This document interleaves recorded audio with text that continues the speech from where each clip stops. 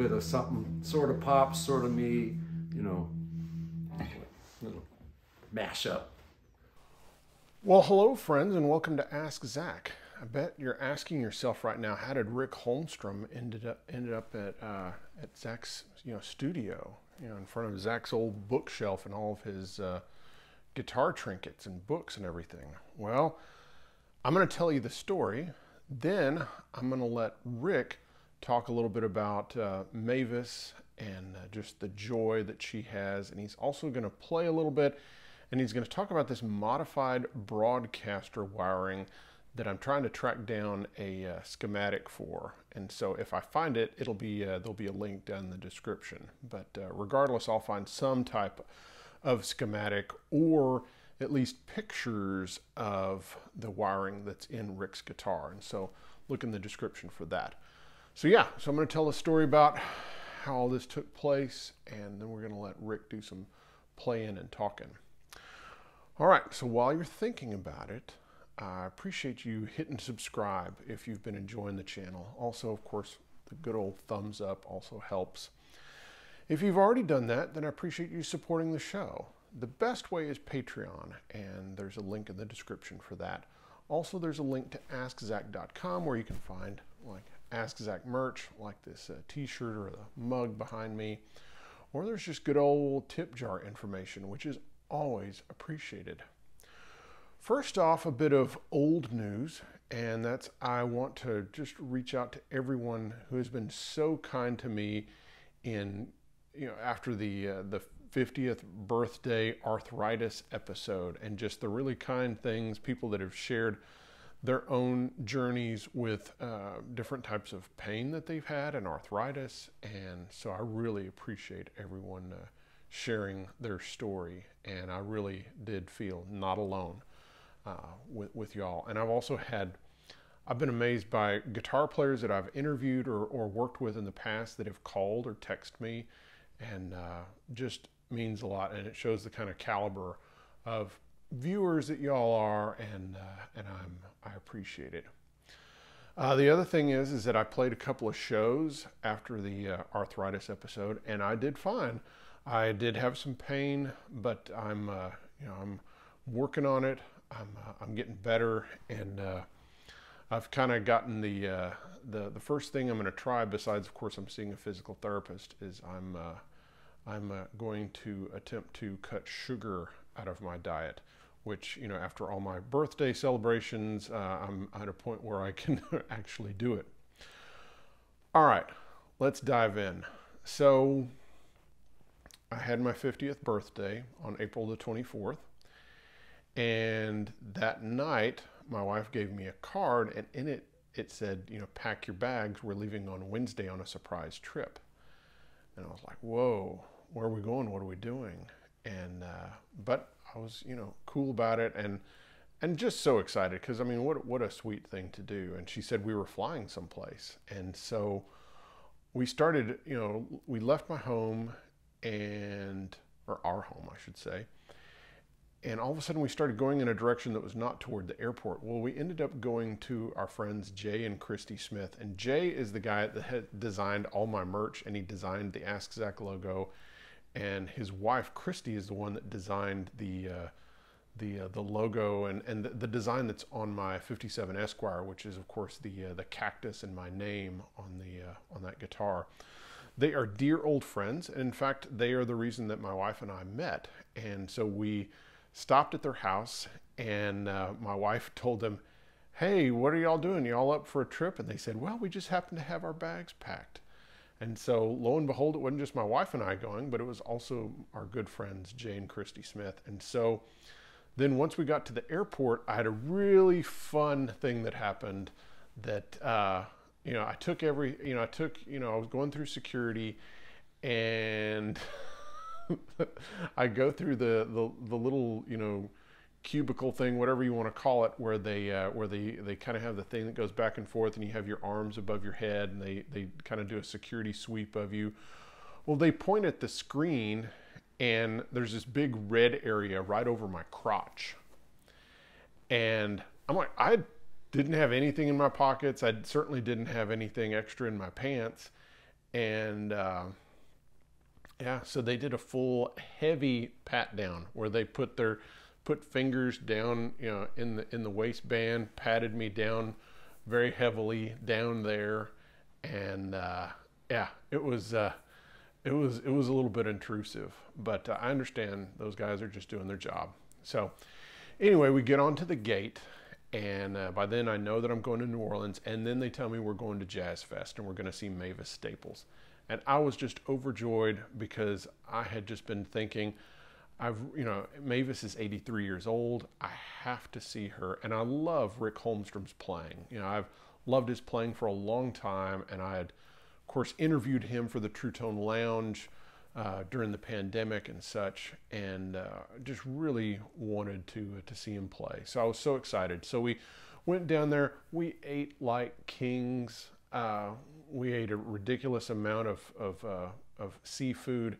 Uh, one of the highlights was Galatoire's, which is a place on Bourbon Street, where we had amazing food, and then the, our waitress had the whole restaurant sing "Happy Birthday" to me and then the next night we uh, we went and saw Mavis with Rick Holmstrom, and they were fantastic.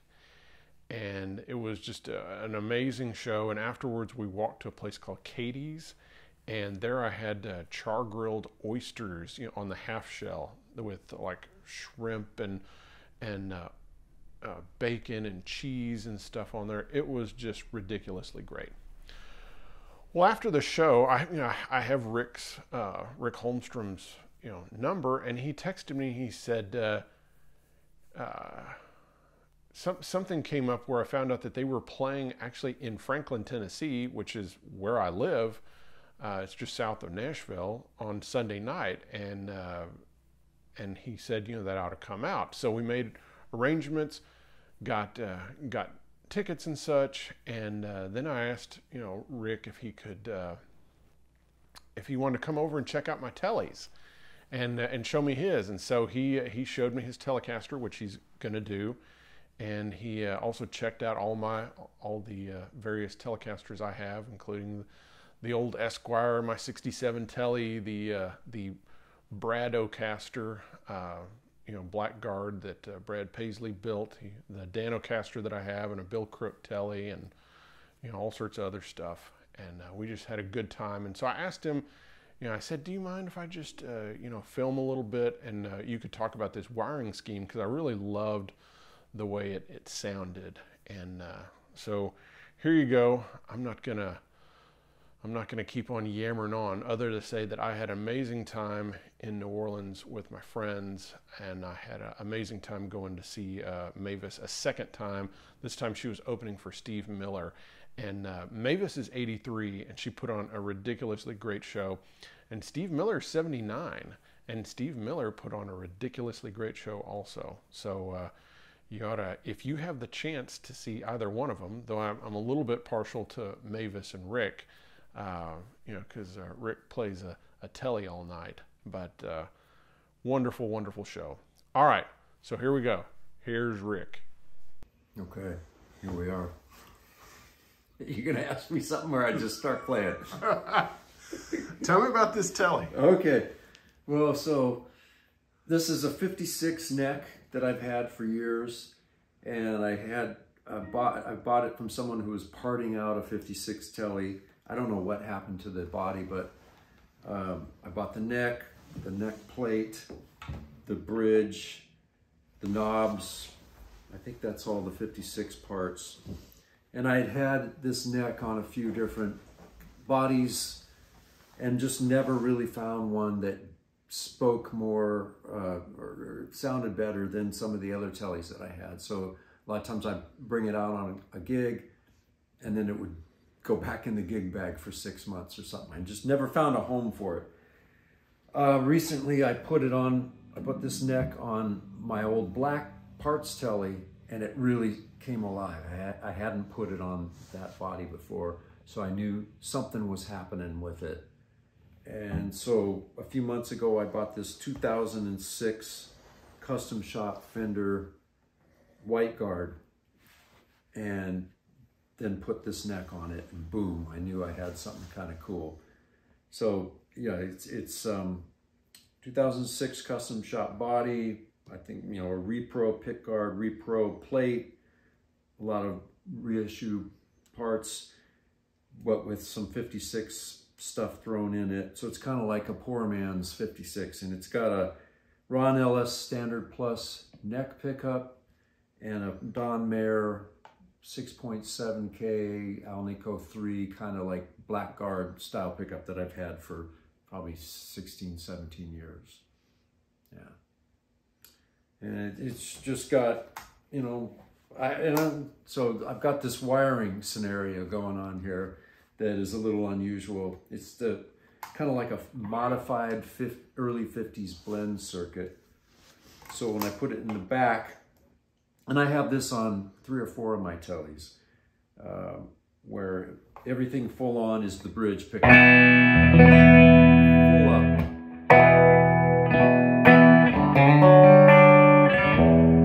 And then you start dialing this knob. It's not a tone control, but it's a blend. So it goes from full bridge to full middle. You go all the way down chirp of the middle position. But the cool thing is you have all these variations of full bridge to, to middle, which I like to play with. And some people would prefer to have a tone control. I get that. I've done that before. But I kind of just like all these Gatemouth brownish type variations. So like if you played something sort of Gatemouth brown,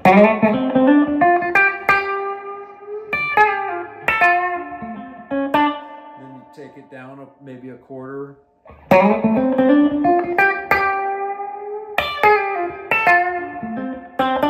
Pretty subtle, but as you start getting closer to blend, you start hearing more.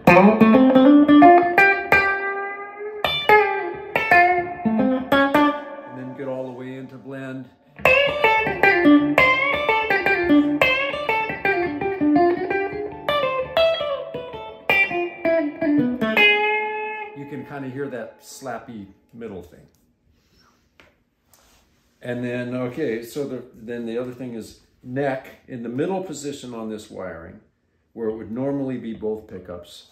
It's just the neck without a tone control, without a cap on it. So it opens up like I know you like to do. Um, or like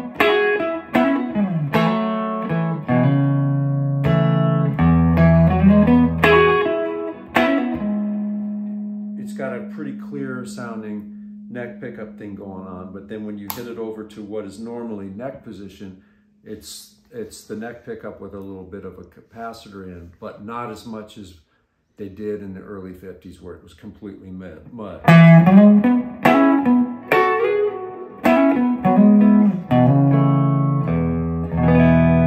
that kind of works for me. Like if I've got the amp really sweating, and it's distorting and I go over here and I'm playing like um, Chicago blue, like backing up a harmonica, like, like, uh,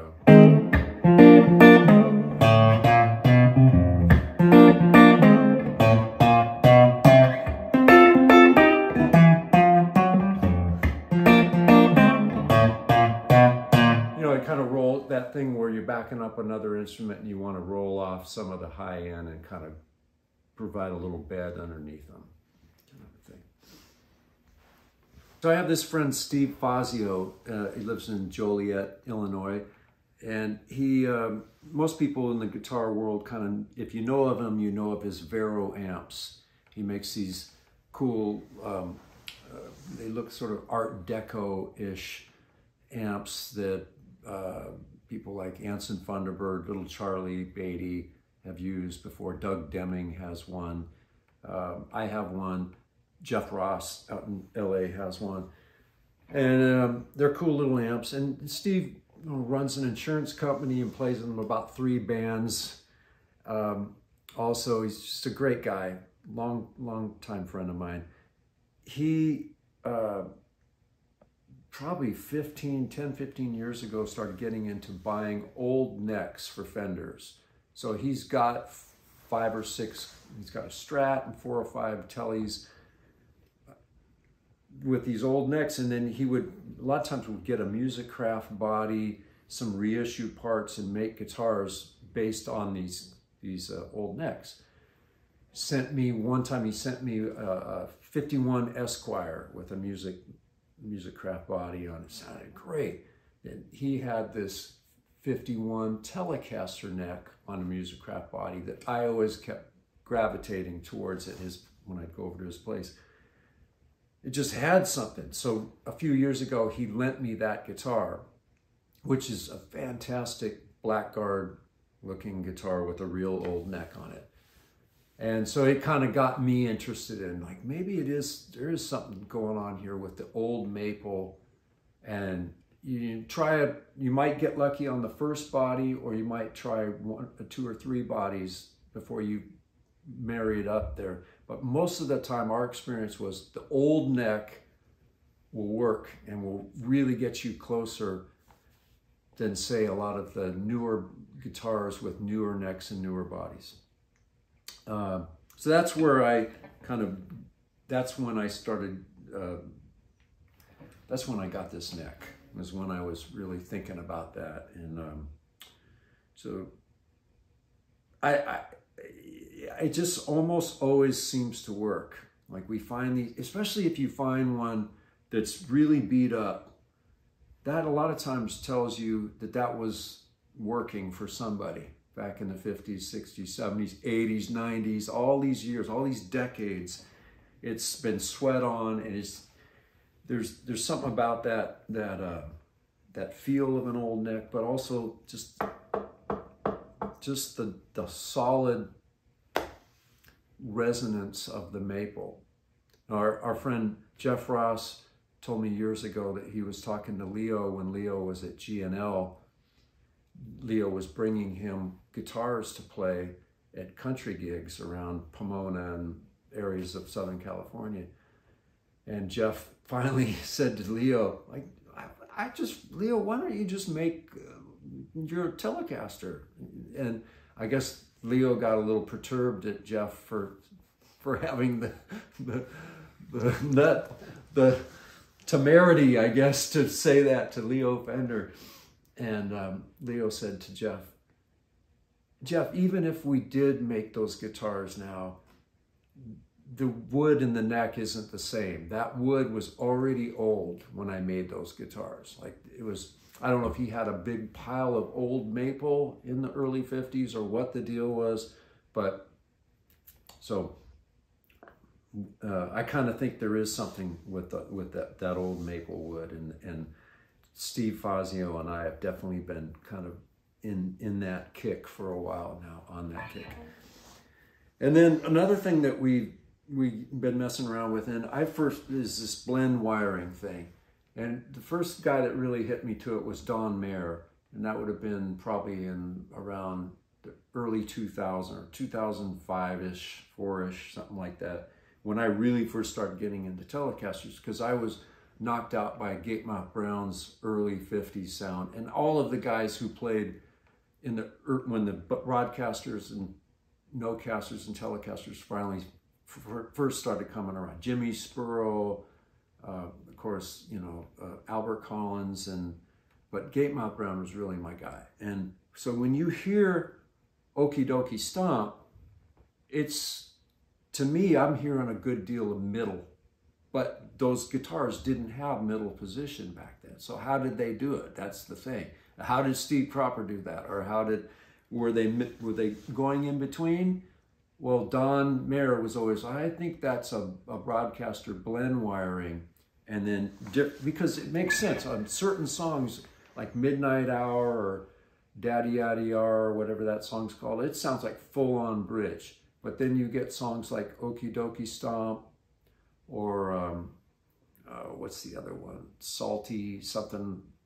I forgot the names of the songs, where you, you're like, oh, that sounds like kind of like there's some neck pickup in there. And so we started messing around with that.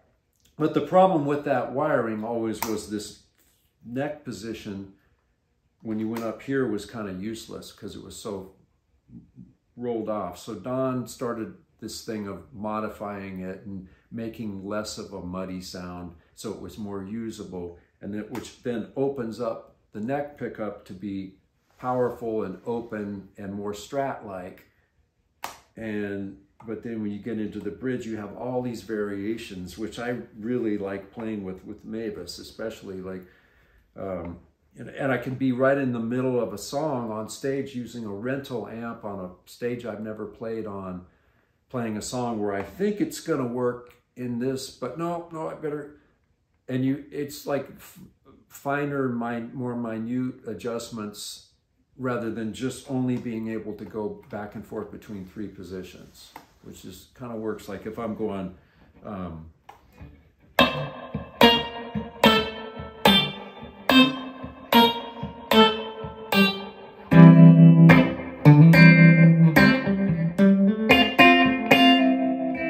that sounds fine right now, but on stage with a full band, I might need more, a little bit more bridge, you know, so I might dial.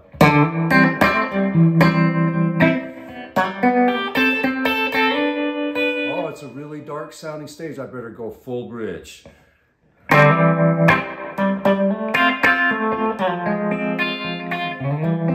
it's a really bright stage. Better go full blend. You know. So that, that works for me. And I, I just, because I'm such a Gatemouth nut, um, I just love that.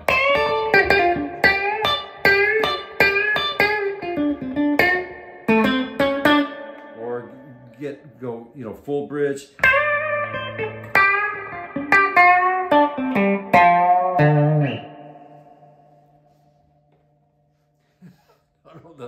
I don't know, how succinct that was, but so I mean, the thing with when we're out with Mavis, 90% of our gigs are fly-ins where we use rented backline. You know, if we're if we're doing a tour, we've done tours with Bonnie Raitt or Bob Dylan or something like that, where we're out for a whole summer and we get to bring our own gear. That's great. But most of the time I show up and there's a rented amp for me. And lately it's been a Vox AC15 for the small theaters and places and, and then sometimes a AC30 for outdoors. Um, and I used to, whew, man, for the first, I guess, 10 years or so that I was with Mavis doing that, I would bring an overdrive pedal, a reverb pedal, maybe a tremolo pedal, and I'd get a reissue Fender Blackface Deluxe Reverb or something like that. And it was so stiff and loud and mid-rangey in a weird way that I just I tried every overdrive pedal and boost pedal known to man. I had never found anything that I liked because I, I grew up playing like a Fender outboard reverb tank into a Tweed Bassman or a Tweed Pro, just depending on the size of the room. That was my thing. And the blackface amps with a Fender, with a Telecaster, to me, especially the, the uh, reissue stuff, which wasn't working. So then when I discovered the Voxes, that warmed up the telly to me and felt a little bit more like a tweed amp. And then lately I found this thing called a Milkman. It's called Milkman the Amp 50. And it's a tube preamp that this company called Milkman makes out of San Francisco. And the way I use it is I set it on top of my amp or behind my amp, and I use the tube preamp to hit the Vox amp a little hotter. So it's like a tube boost, but it's also got great reverb, great tremolo, and really useful EQ in it.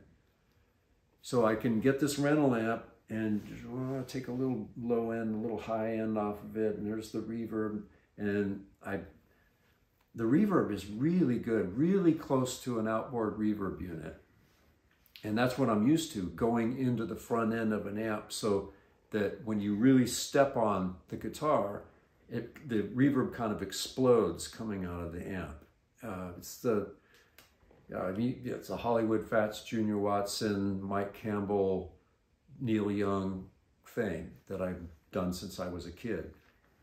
And that Milkman, I mean, you can, there's all these other functions that you can do with it where you can XLR straight to the house, you can power a cabinet with it. I have never even used one of those things. I've just only used it in front of the amp and I love it. It works, a little carrying case, I put my cables and stuff in it, I show up at any gig. I love it so much that last summer when we were out with Bonnie Raitt, I had my own amp that I was using and I still used the Milkman instead of my old reverb tank, which is saying something. So um, that's kind of what, what, what I do with these fly-ins. Um, what was the other thing we were going to talk about? Oh, the the low. Yeah, T tell about the uh, uh, you know when when you uh, the sound that y'all have is one talk about the uh, the whole thing about having a trio and a couple vocalists. Mm. And then and then about your front of house and, and how you get kind of a clear sound with that and where there's room for everything without all that muddy low end. Yeah, I'll say when we first started with Mavis was 2007, and she had just made that record with Ry Cooder uh, called We'll Never Turn Back, which is basically Keltner, Ry, a bass player, and background vocals. And that's, I love the Stax period. I love the Muscle Shoals stuff that they did. I love all that stuff. But my real favorite staple singer stuff is the Vee-Jay and then into like the Freedom Highway era stuff where it's basically just either just pops and hand claps and vocals or a rhythm like Al Duncan and Phil Upchurch and pops playing with the background vocals and some hand claps. So when we first put the band together, you know, her manager was in agreement that, he, that it would be cool if we could keep it stripped down. It helps with the, you know, the, the us being able to travel around and and make it work uh, financially too. But then it just became a sound that we all really started to like, and just this, that's you know that's Mavis's thing. It's all about the vocals and the singing. So you get some really good singers, and then just a, a bare bones backing, rhythm backing behind her. That's that seems to work fine. So that's kind of how it started, and it's um, progressed over the years. Um, and uh, you know, we made a bunch of records with her doing that lineup, and it's kind of become a thing where we embrace the space and let the microphones do the work. Like just say, you know, yeah, I know it's a big audience. I know it's a pressure gig. Everybody's keyed up. Take a deep breath. We've got these singers. All we got to do is groove behind them and, and then interact with them and everything's going to be cool. Uh, it just gives, like you said, it gives all the instruments their space and their the, the room to, to make, almost make more of an impact with less than if we had, you know, a horn section and a B3 and a piano and everything. Yeah. And then sonically, uh, we're lucky now in the last year or so that we've been bringing our own front of house engineers with us. Um, but for, for, about 15 years, we didn't bring a front of house engineer with us. So that sometimes could be fine, other times could be a mess. And one of the things that the thing that's really the bane of our existence with Mavis is our subs. So the really low end speakers that are a lot of times under the stage or just to the side of the stage. And a lot of the younger front of house engineers these days seem to really want to play with those and really bring them up loud. And Mavis is 83 years old. She's totally old school. When she hears that low end, she's wondering why we're playing with so much bass and volume. And I'll have to say, that's the PA. It's, you know, we're not playing, oh, I don't like that. Is it totally clouds up the whole stage. It just takes over. Then you, you feel like you have to play louder to get to hear yourself and get up over it. And it kills the beauty of the vocals in the air. So we either turn the subs off or we barely have them on. And um, that seems to really work for us. And just, you know, our, we're lucky that our, our front of house people seem they understand that it's all about the vocals and we've got this vocal thing swimming up here and this you know rhythm accompaniment down in here and then occasionally the guitar peaks up with the the vocals and takes off when they stop singing and then comes back down here. And it just works for us. So tell me about working with the 83 year old mavis staples who's you know one of my favorite vocalists and just uh, and seems like an amazing person. She is and it's it's now it's gotten to the point where as I've been with her for 16 years. So she's uh, like a third grandmother to my daughters and she's also that grandmother to a whole bunch of other people uh, that you know that we know that Jeff Tweedy's kids and a whole bunch of our you know our kids become have this extra grandma because of Mavis and so it becomes family in a way that you didn't expect, uh, which is beautiful and un, you know unexpected and just just amazing. I really I hate to use that word amazing, but it's it really truly is. But I I think about her and I think a lot of times where just, let's just say we're we're traveling the day that we're playing, which is hard enough on uh, us, I'm going to be 58 this in a month. She's 83. And so if we're traveling on a day of show and I see her backstage, she's usually kind of a little bit torn up. She's a little tired. She's trying to get herself in a position where she can sing. And then pretty soon, you know, we all go to the stage right, stage left, and we're about to go on. And she's sitting in a chair and she's got her tea and she's still looking at us like, oh, I'm kind of worried about her tonight. And she's collecting herself. And then we, we get up there and I start the song off and I call her up and she walks over to me and she gives me a fist bump and I look at her and I said, have fun. And all of a sudden it comes on for her. And I think the thing with her is I, a long time ago, she considered dropping out of music and her dad, she wanted to be a nurse. And her pops told her, Mavis, you're already healing people. You're already doing this and you don't even realize it. And so she went back into music thinking about it like that. And I think that she really gets something back, like the giving to the, it sounds like a cliche, but it's so true with her that she's giving her message and her energy and she's getting something back from this crowd. That's why a lot of times, like if we're playing a big festival and there's what we call a moat out in front of us where there's 10 or 20 feet of nothing but some photographers and security. It kind of kills the vibe a little bit for Mavis because she, she needs to have people right up on her.